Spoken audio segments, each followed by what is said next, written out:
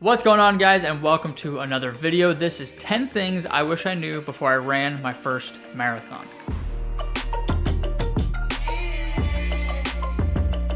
So before I dive too far into this video, I want to first give you a background of my running history. I was never really a runner. I played sports growing up. Um, I did track in high school for like one year. I just did sprints. So distance running has never been my thing. I always hated running because usually in sports, running was used as punishment, so I always resented it. But about four years ago in 2018, I picked up running as a hobby. I started out just doing one, two miles every day for the first year, and then I slowly worked my way up and I ran my first half marathon in February of 2021 in Greenville, South Carolina. I ran a 128, and then about two months later, I ran the Myrtle Beach half marathon and ran a 129. So I was pretty happy with these first two races, and my eventual goal was to run a sub three hour marathon.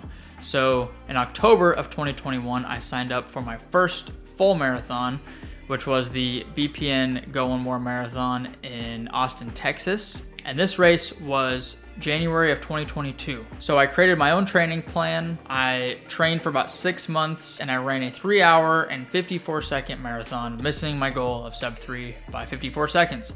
Again, I was super happy with this result as one, it was my first marathon, and two, I did all my training on my own. So I was still very proud of this time.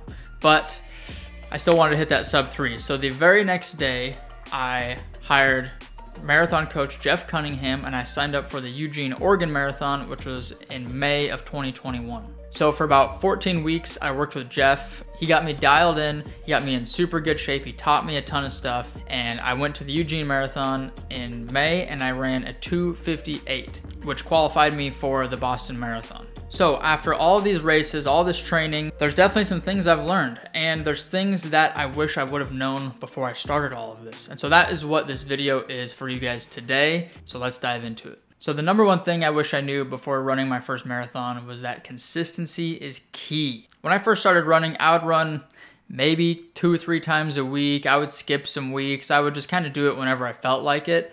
And I would see a little progress, but not a whole lot. And when I started working with Jeff, he made me realize that if you want to be successful as a runner, you have to be consistent. You have to show up every single day. You don't have to crush every single workout. Like he says, it's better to be consistently good than occasionally great. And that is by far the number one thing I wish I knew before my first marathon. The second thing I wish I knew was about the three big marathon workouts. Now, these are workouts that Jeff had me do during my second prep these workouts are intended to simulate race day to simulate a marathon. So it's an 18 mile workout, a 20 mile workout, and a 22 mile workout, all with marathon splits or faster built into them. If you want to run a marathon without actually running a marathon, do one of these workouts because they are tough. But if you prepare properly and you show up to these workouts as if it were race day, you're gonna crush them and it is a huge confidence booster. All right, the third thing I wish I knew before my first marathon was the Nike Vaporflies. How did I not know about these? These shoes are incredible. I don't want to say it's all about the shoes, but when you run in these shoes, it kind of becomes all about the shoes. These shoes are crazy light, they're super comfortable, they propel you forward. They're super springy. Their slogan is that they make you, I think it's 4% faster or something like that. I swear it works. If you're running a marathon, I would definitely recommend either the Vaporflies or the Alpha Flies. They are incredible shoes. Number four, electrolytes. If you're like me, you probably have heard that sodium is bad and you got to have low sodium sauce and low sodium food and a low sodium diet. But if you're an athlete, that is the worst the worst piece of advice anybody could tell you. And I didn't know this for years. But finally, I learned that sodium and electrolytes are one of the most important parts of your marathon training. Our muscles need sodium to work and to contract. And when you're in a two or three hour marathon run, you're gonna go through that sodium quickly because you're sweating so much and you're working so hard. If you don't take sodium, you're gonna cramp, you're gonna bonk, and you're just not gonna have a good run. I would usually take minimum 1500 grams of sodium before those long runs. Um, on just a regular day, I would do about an extra 500 milligrams of sodium, but you gotta get more sodium in your diet. Number five, carb load. So leading up to my first marathon, I didn't carb load much. I uh, I would eat a little bit of extra carbs, you know, like maybe a slice of bread or have pasta the night before or something like that. But for my second marathon, I went hard on the carbs. The race was on Sunday, and I think on like Tuesday or Wednesday, I started carbing up. I was doing, I don't know how many hundreds of grams of carbs per day. It was a lot. I was eating whole loaves of sourdough bread. I was eating pasta. I was eating oatmeal. I was eating so many carbs that I felt so bloated.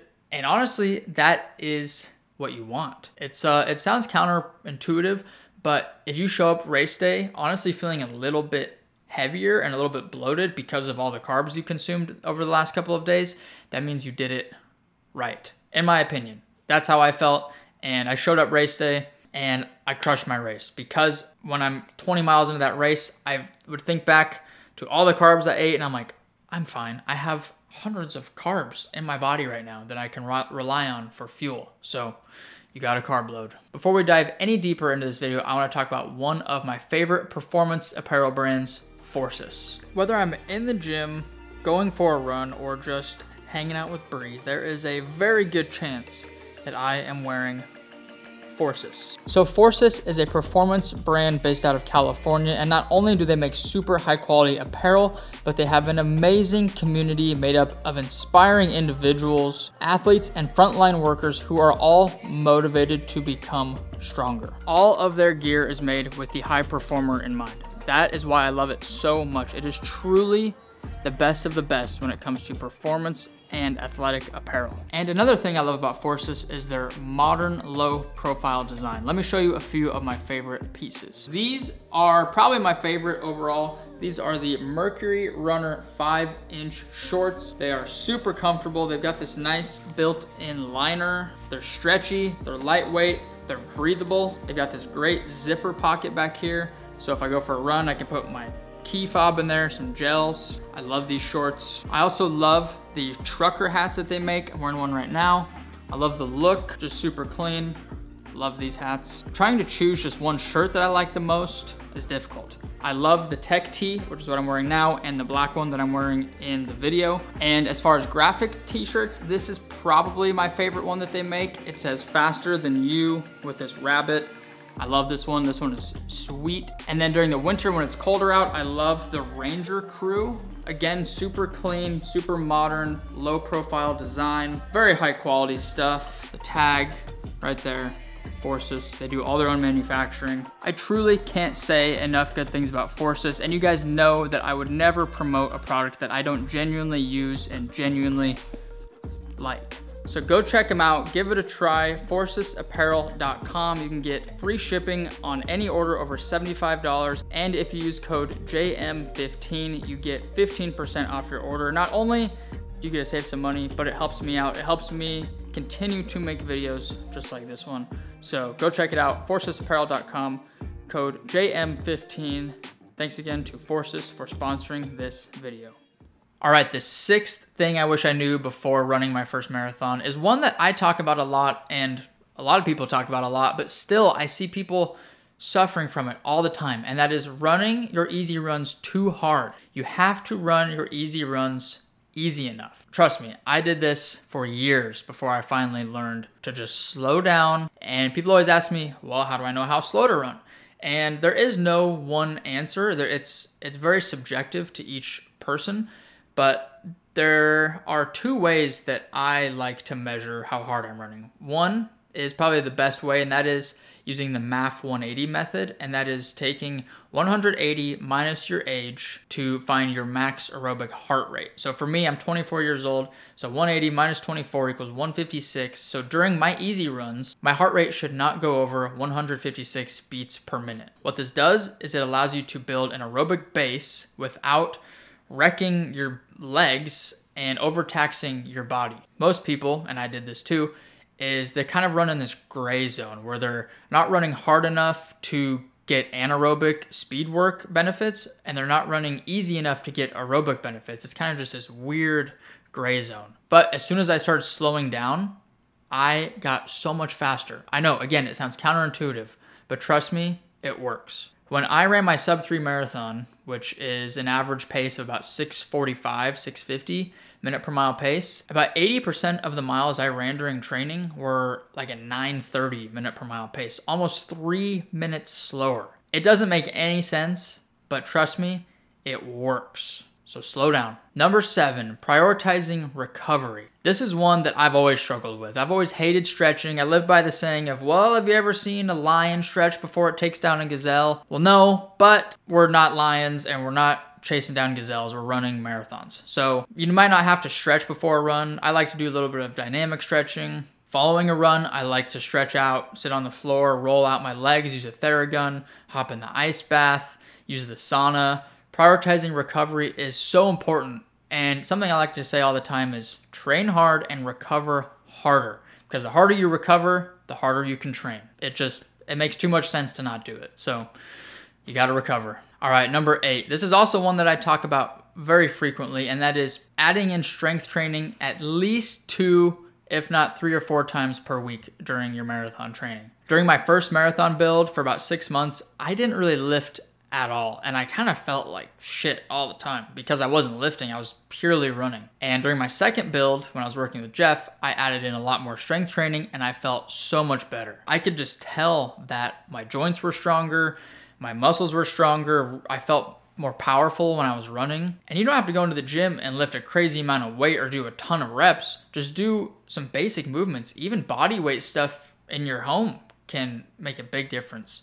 It's all about just building that resiliency and preventing injury by strengthening your joints, your ligaments, and just being strong overall. All right, the next one is knowing the course. So after you sign up for your race, go on the race website, figure out the details of the course. Look at the elevation map, look at how many hills there are, look at where the hills are at. Figure out what the temperature is going to be on race day. I know for me, I don't want to show up race day and be surprised by anything. I want to know all of these little details beforehand so that I can plan and I can show up race day and execute that plan. So do some research, figure out the details of the course. If you can, even go run on the course and uh, just kind of get a feel for what you're going to be going into. All right, the last and certainly but not least thing that I wish I knew before I ran my first marathon is to just have fun. Enjoy the experience as a whole. Enjoy the training. Enjoy the research, enjoy the prep, all of these different things because in the end, that's what it's about. The race, yes, it's fun. You get to go out and, and see what you're made of, but really that's just the cherry on top. It's really about the experience as a whole. And, uh, you know, it's,